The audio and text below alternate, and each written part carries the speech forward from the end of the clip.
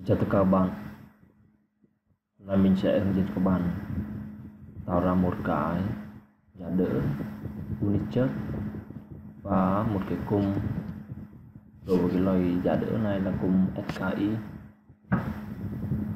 đây cung này đây thì um,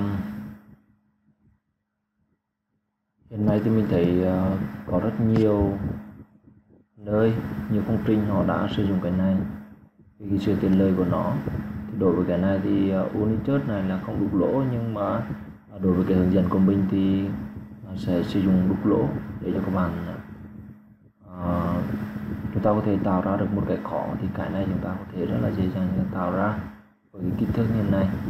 Và một cái à, loại kesago uh, đặc thù của nó rồi bây giờ chúng ta sẽ đi tạo lần lượt. Thứ nhất là chúng ta sẽ đi tạo cái giá đỡ này. Tạo giá đỡ này.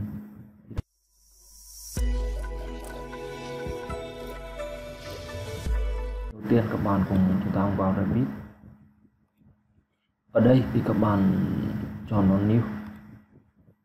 Và các bạn lưu ý là chúng ta sẽ chọn vào cái phần từ mục English rồi khi à, khi chúng ta đã chọn English xong thì các bạn kéo xuống chúng ta chọn Matrix Generic Model. Và chúng ta open lên.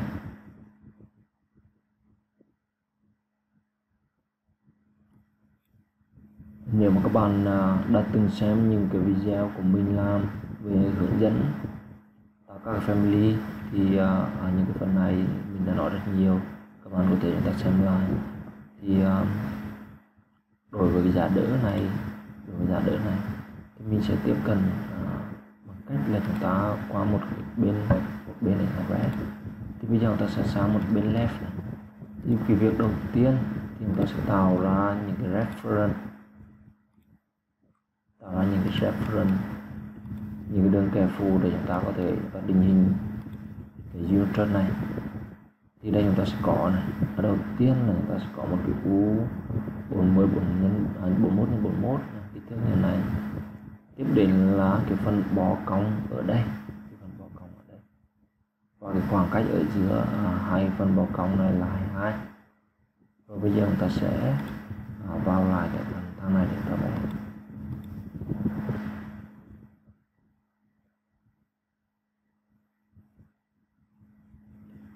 rồi bây giờ chúng ta sẽ đi vào lại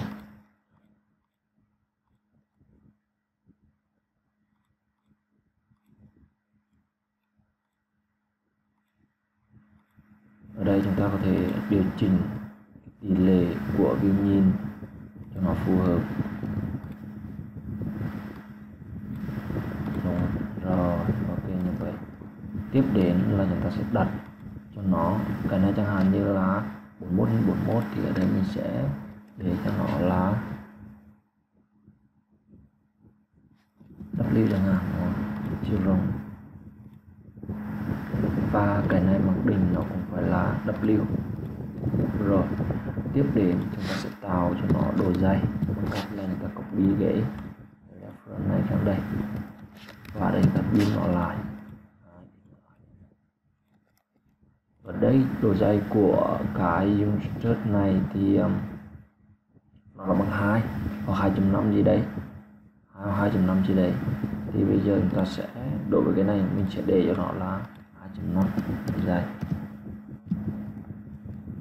cái này chúng ta có thể chúng ta khóa lại luôn tại vì cái này nó không không thay đổi. Tiếp đến là mình sẽ mirror cái thằng này qua đây và cũng điểm nó lại.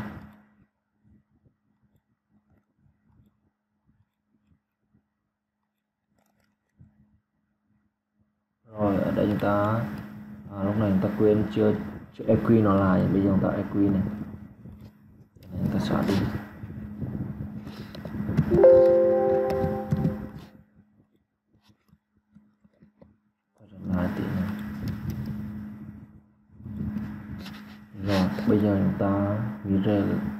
reference này qua đây.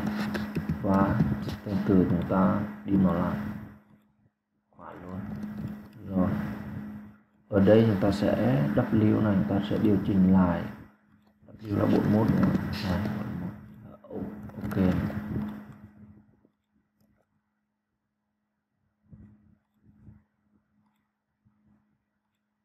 Rồi tiếp đến ở đây ở đây thì mà chúng ta cũng cái này chúng ta copy là chúng ta copy cái này. Kéo xuống. Để tạo cái độ dày cho nó.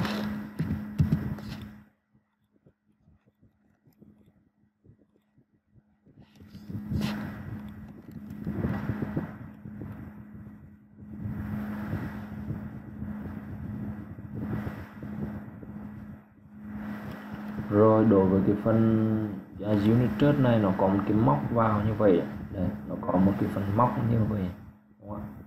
thì uh, chúng ta có thể là chúng ta đặt cho nó một cái reference uh, rồi tiếp đến là cái phần trong này à, nó, nó chỉ, chỉ đều cái tấm của unit ra với kích thước là 22 thì ở đây chúng ta cũng copy cái này ra. Và đây chúng ta có thể tập in nó. Ở đây, ở đây chúng ta mirror nó luôn. Các bạn im nó lại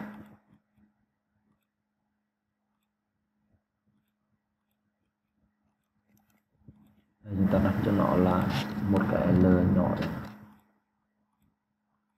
đối với việc mà chúng ta đặt cho nó các cái tham biến thì các bạn phải nhớ à, cái cách thức mà chúng ta đặt cái tham biến đấy để nhớ. Ở đây thì ý nó phải là bằng bằng 22 rồi thì đây là cái phần ý nó nó nó nó âm một trong. Tiếp đến này. À, đến đây chúng ta sẽ sử dụng các dữ liệu này để chúng ta tạo ra một cái dữ liệu trước. Thì chúng ta chọn vào grid chọn extrusion. Ở đây thì à, chúng ta sẽ vẽ một cái, à, cái khung bao phía ngoài. Tiếp đến là cái khung bao phía trong. Đối với phần phía trong này chúng ta có thể chúng ta kéo đến đây thôi. Rồi, được như vậy rồi. Tiếp đến ở đây đối với cái phần ở dưới này. Thì chúng ta sẽ cho nó một cái bản kính cong ở đây. Từ ở đây cũng vậy. Các bạn lưu ý cái này chúng ta chọn một cái góc 45 độ nhé. Đối với những cái à, bản kính cong này thì các bạn chúng ta không cần là chúng ta đặt cho nó một cái bản kính gì hết. À, mặc định nếu mà chúng ta thấy nó ổn rồi nó đúng rồi đẹp rồi thì chúng ta sẽ để yên như vậy luôn. Đấy, như vậy đúng không ạ? Rồi tiếp đến ở trên này nó cũng vậy. Tiếp đến trên này nó cũng vậy. Thì mình sẽ mirror cái thằng này lên. À, mirror cái thằng này lên. Thì chúng ta có thể chúng ta kéo cái này xuống một tí để chúng ta lấy trung điểm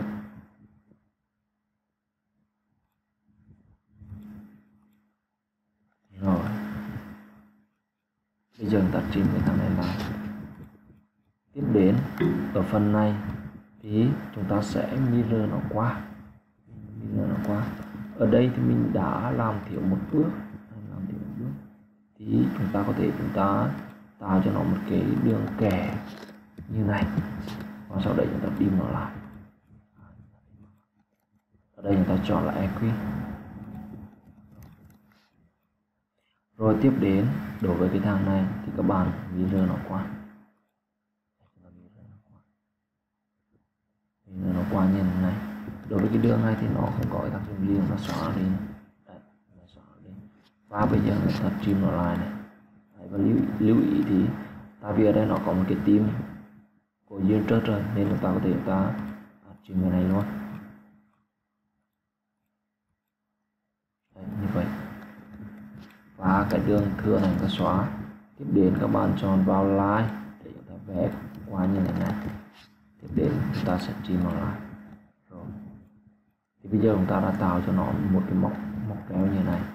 Và các bạn sẽ chọn quét tròn cái móc neo. Chúng ta mirror qua cho phía bên còn lại. Tiếp đến à, các bạn trim nó. Trim nó thừa này. Rồi bây giờ chúng ta đã tạo ra một cái hình dạng của một unit như thế này. À, cần thiết thì ở đây chúng ta cũng tạo cho nó một cái à, bản kính à, một cái, à, cái cái móc xuống như vậy. Đúng không? móc xuống như vậy. Đấy. nếu mà à, đòi hỏi mức độ chi tiết level development nó cao thì chúng ta có thể chúng ta làm như thế này. Chúng ta có thể chúng ta làm như thế này. Rồi bây giờ chúng ta bấm finish là xong. Nhưng mà mình khuyên các bạn là chúng ta nên à, khóa nó lại rồi phần này là khóa rồi. Tiếp đến phần trên này khóa chưa rồi khóa rồi thì ok. Và bây giờ chúng ta sẽ finish nó lại. Đây là finish. Các bạn về lại phần à, rep level. Ở đây thì à, chúng ta sẽ phải là tạo cho nó một cái reference. Và cái động tác của chúng ta tiếp theo là cũng phải điểm lại ở đây chúng ta chọn là eq khóa tiếp tục chúng ta dim cái phần này. Dim phần phần phía ngoài này. Ở đây chúng ta sẽ đặt cho nó một cái l lớn. L lớn này là biểu thị cái độ dài của unit độ chiều dài của unit chúng ta có thể đặt cho nó là 400 tiếp đến, các bạn chúng ta kéo cái này về, chúng ta khóa nó lại. Cái này về, chúng ta khóa nó lại bây giờ chúng ta đã à, tạo ra được một cái hình dạng của geometry như thế này. Unit này đây rồi tiếp theo thì chúng ta sẽ đi đục lỗ cho geometry này. Bằng cách bây giờ chúng ta về mặt bằng. Đối với cái geometry này thì chúng ta sẽ à, đục lỗ ở phía trong này. Thì bằng cách như sau. Và chúng ta vào click chọn công cụ là void form thì cái công cụ trong những công cụ của bộ void form này thì nó tương tự như các cái bộ công cụ này. Nhưng ở đây nó là cắt thì chúng ta sẽ chọn chẳng hạn như đây chúng ta chọn một cái void instruction. Và chúng ta chọn một cái công cụ là elip. Ở đây các bạn chọn vào phần ở dưới này. Đấy, ở đây chúng ta chọn cái cho cái unit này 15 là 30 cái phần này thì chúng ta chọn cho nó là 8 chẳng hạn. Rồi các bạn kích vào là cái ellipse này cái hình ellipse này. Chúng ta chọn là center mark. Tiếp đến chúng ta chọn công cụ align và chúng ta khóa nó lại. Sau đấy các bạn kích lại vào trong cái unit này. Ở đây nó xuất hiện các cái kích thước. Đấy, chúng ta sẽ kích vào các kích thước này Rồi các cái kích thước này chúng ta có thể chúng ta đặt cho nó một cái à, parameter một cái cảm biến. Ở đây chẳng hạn như mình sẽ đặt cho nó là b nhỏ chẳng hạn. Thì khi mà chúng ta đặt tham biến như thế này thì chúng ta có thể chúng ta điều chỉnh các cái kích thước. À, sau này khi mà chúng ta cảm thấy nó không phù hợp để mình đặt là a. Ok sau đây các bạn bấm finish tiếp theo chúng ta sẽ về một cái phone và chúng ta điều chỉnh cái form này xuống. Đúng cái độ dày của của unit trước chúng ta khóa lại. Khóa lại luôn. Sau đấy các bạn chúng ta ra view để ta xem. Đấy. thì bây giờ nó đã cắt cho chúng ta một cái lỗ như này. Thì việc tiếp theo thì chúng ta làm như thế nào để cho nó thì nó thay đổi được theo kích thước chúng ta mong muốn. Đấy, thì bây giờ này, bây giờ chúng ta sẽ vào lại cái form form này, các bạn kích vào. Chúng ta chọn cái công cụ là array. Và các bạn chọn array theo đường thẳng. Tiếp đến chúng ta sẽ kích chọn ra đây. Chẳng hạn ở đây là kích thước của nó là 50 thì mình chọn là nó 50 và ở đây các bạn à, chúng ta đặt cho nó một cái số thứ tự để cho nó phù hợp với cái kích thước này. Chẳng hạn như đây là 5 tiếp theo là các bạn kích vào cái cái, cái năm này. Cái, cái mà nó điểm số thứ tự array đó. và chúng ta đặt cho nó một cái tham biến ở đây tham biến này chúng ta đặt cho nó là n. Và bật vào instant. Tiếp đến tiếp đến đối với cái phần phía ngược lại thì chúng ta sẽ phải là à, chúng ta tạo mở cho nó một cái void form tiếp. Tại vì nếu mà chúng ta ở đây nó đã đóng lại một cái group rồi nếu chúng ta lấy cái này để chúng ta à mirror qua bên này thì vô tình chung nó không hoạt động được. Thì ở đây các bạn chúng ta chọn một void form và chúng ta cũng vẽ lại một cái ellipse tương tự như vậy các bước người ta thực hiện như vậy luôn. Đây. chúng ta chọn là uh, central map và uh, sử dụng align để chúng ta khóa nó tiếp đến các bạn kích vào đây để ta à, đặt cho nó cái kích thước của hình clip này. Ở đây chúng ta chọn là A. à, với cái này chúng ta chọn là B rồi các bạn bấm finish. Ở đây chúng ta chọn finish. Rồi bây giờ các bạn vào lại hướng phone ở đây chúng ta cũng kéo nó xuống về đúng cái điểm ta một cách. Các bạn khóa lại. Và chúng ta về lại phần mặt bằng này. À, cùng là cái void form đấy. Ta array ngược lại phía bên này bạn chọn array ở đây thì ở cái chúng ta chọn là 50 đúng không 50 và các bạn kích cho nó là 5 tương tự cái này, tương tự cái này. Các bạn kích vào một cái như này để nó hiện cái group và số ở đây. Chúng ta chọn nó là n bằng 5 rồi, bây giờ bây giờ chúng ta sẽ vào cái phần family type để chúng ta xem nó thay đổi như thế nào. Bây giờ chúng ta ok này. Chúng ta có thể qua một cái hướng nhìn bản đề như thế này. Để chúng ta xem cái cách hoạt động của nó. Các bạn chọn vào family type và bây giờ chúng ta chọn là gì ạ? Bây giờ này nếu mà cái kích thước của kích thước chiều dài của unit thay đổi thì uh, chỉ có unit thay đổi thôi còn những cái phần đục lỗ này nó không thay đổi.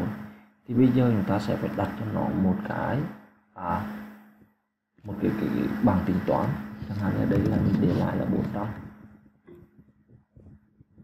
thì đối với 400 thì n bằng 5 400 n bằng 5 thì bây giờ chúng ta sẽ đặt cho nó này. Ở đây, chúng ta sẽ à, đặt cho nó một cái à, công thức. Chẳng hạn như đây là bằng L. Đúng không? chia cho 50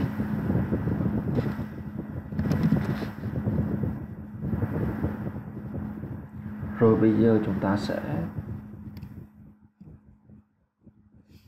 chúng ta cộng hai ở trước. Hai hai ở trước cộng. Dạ. Ở đây các bạn đọc mặt lại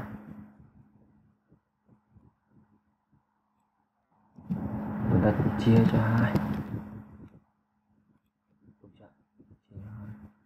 Thì nó sẽ ra một cái công thức và từ nay khi mà các bạn thay đổi cái chiều dài của unit thì à, cái phần đục lỗ này nó tự động nó chạy theo. Tự động nó chạy theo. Đây chẳng hạn như là Đấy, tự động nó chạy theo thì bây giờ chúng ta đã tạo xong được một cái unit test à, và à, có thể thay đổi kích thước một cách rất là ngẫu nhiên và bất kỳ. Rồi bây giờ đối với cái phần unit test này chúng ta đang thiếu là chúng ta đang thiếu cái à, uh, tiren phần tiren và cái phần gắn vào đây. Thì bây giờ này chúng ta sẽ vào lại cái ref ref level. Ref level.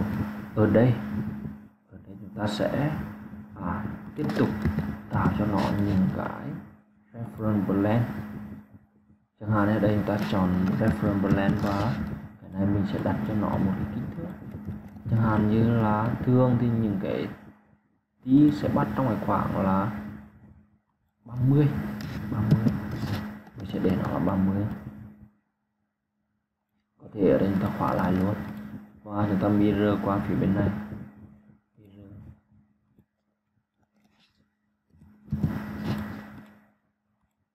khóa nó lại tiếp theo. Tiếp theo. Các bạn đối với cái phần này. Đây là 30 đây là cái tiren đúng không ạ? Nhưng mà trước khi chúng ta bắt tiren thì nó sẽ có một cái phần đỡ ở bên, bên dưới. Đỡ phần phía bên dưới này thì chúng ta sẽ đi tạo cho nó này. À, đầu tiên thì đối với cái này thì chúng ta sẽ à, chúng ta sẽ xem cái độ dài của cái thằng này đã đây là 22 đúng không? 22 thì chúng ta sẽ chọn một cái kích thước là tầm 30 thì ở đây chúng ta sẽ chọn cho nó là 15 các bạn cái đối với cái à, đoạn này thì các bạn làm theo mình.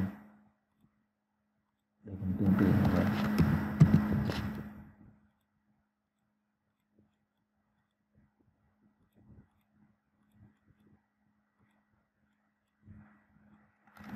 rồi tiếp đến ở phía bên này chúng ta tạo cho nó một cái reference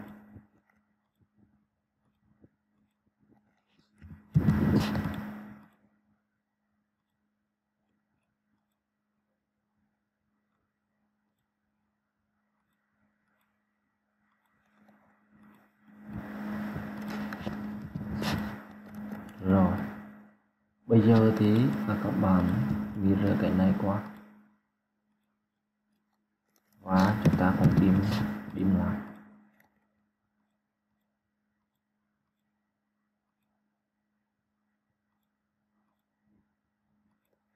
Rồi, như vậy đúng không?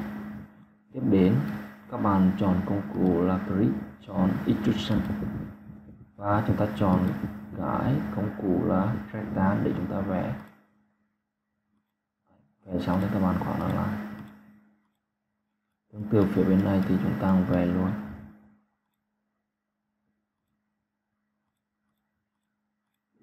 Và chúng ta bấm finish. Các bạn vào lại cái từ số phone và chúng ta điều chỉnh cái. Các bạn kéo xuống. Kéo xuống hẳn xuống dưới cái phần này.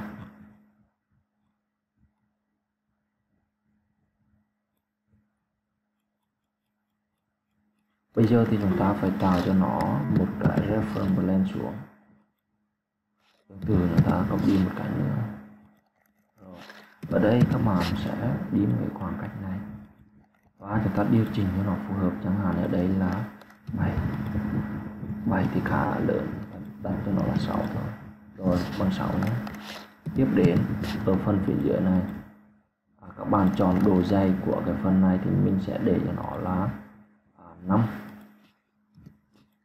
các bạn có thể ở đây chúng ta có thể là kích vào đây chúng ta khóa nó lại. Rồi tiếp đến đối với cái zoom chớt này. À, cái cái phần à, đặt ở giữa này chúng ta kéo nó về cái reference plane chúng ta vừa tạo. Và chúng ta nó lại. Khóa nó lại. Tiếp đến à, chúng ta sẽ mirror nó lên. Chúng ta sẽ mirror nó lên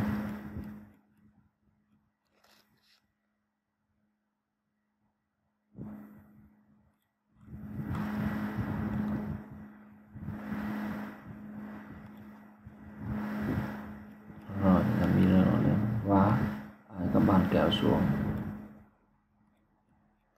cái này thì chúng ta phải đặt cho nó một cái reference plane các bạn copy vào cho ta đi thằng này lại.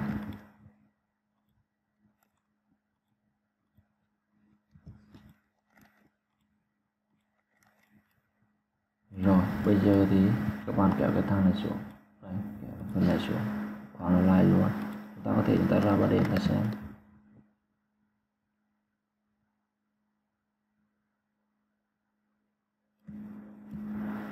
Đây, hình dạng của nó sẽ là như vậy.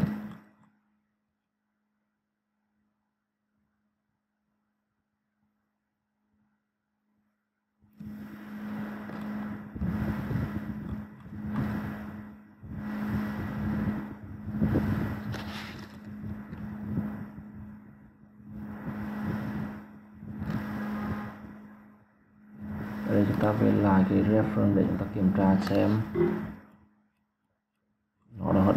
đã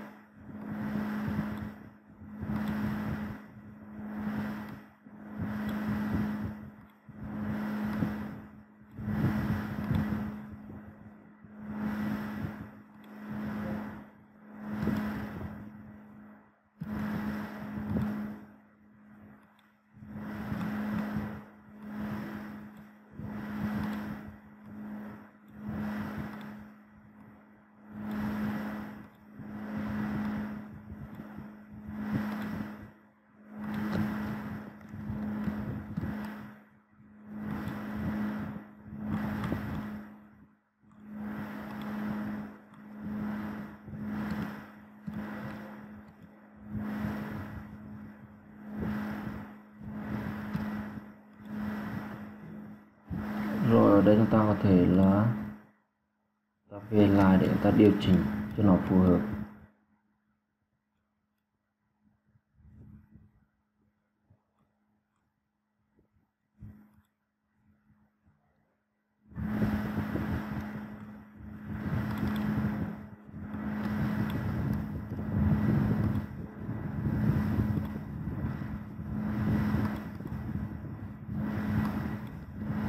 Bản xóa đi nhé xóa đi.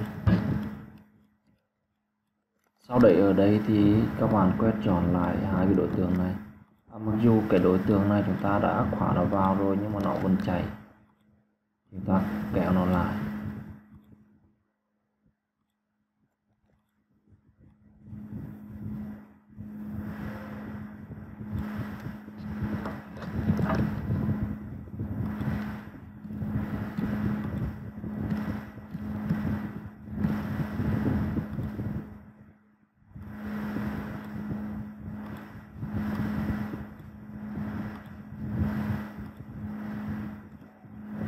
rồi bây giờ các bạn chọn hai cái đối tượng này. Chúng ta mirror qua.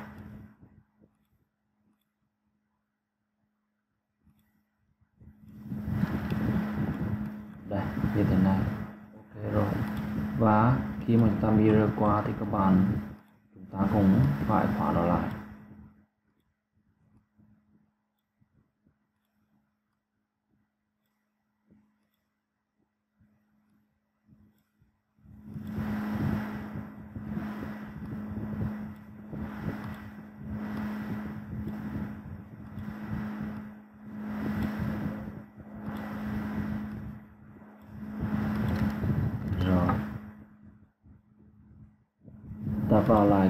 4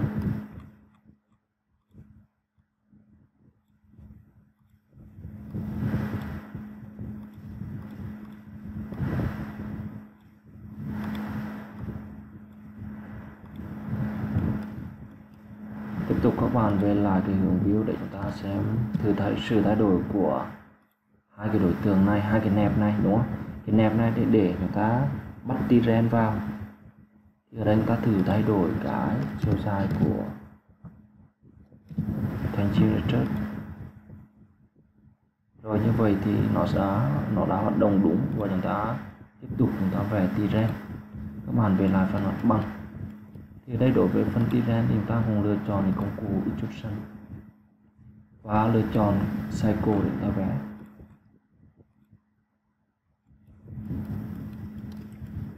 Đối với cái hình tròn này thì chúng ta chọn vào central mark. À, rồi ok sau đấy chúng ta cũng trim nó lại đúng cái đồ này. Sau đấy các bạn lựa chọn cái công cụ dim. Để chúng ta dim lại. Ở đây các bạn chúng ta có thể chúng ta đặt cho nó là một cái m.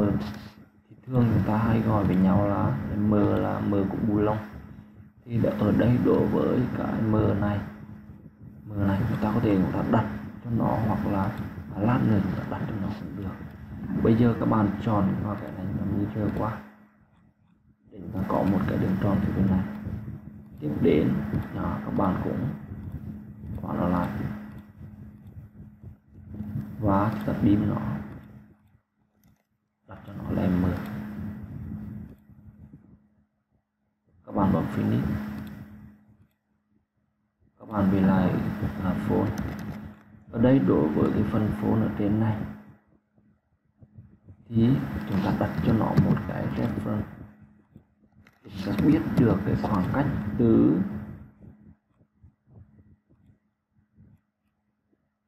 cái đáy ống đến chân. Ở đây chúng ta đặt là sau đấy chúng ta sẽ kéo cái tiren này lên. Tương tự thì ở dưới này, nếu mà chúng ta kỹ một tí thì chúng ta sẽ đặt cho nó một cái khoảng hở của tia tiren ở dưới. Thì cái khoảng hở này thì chúng ta đặt cho nó là 15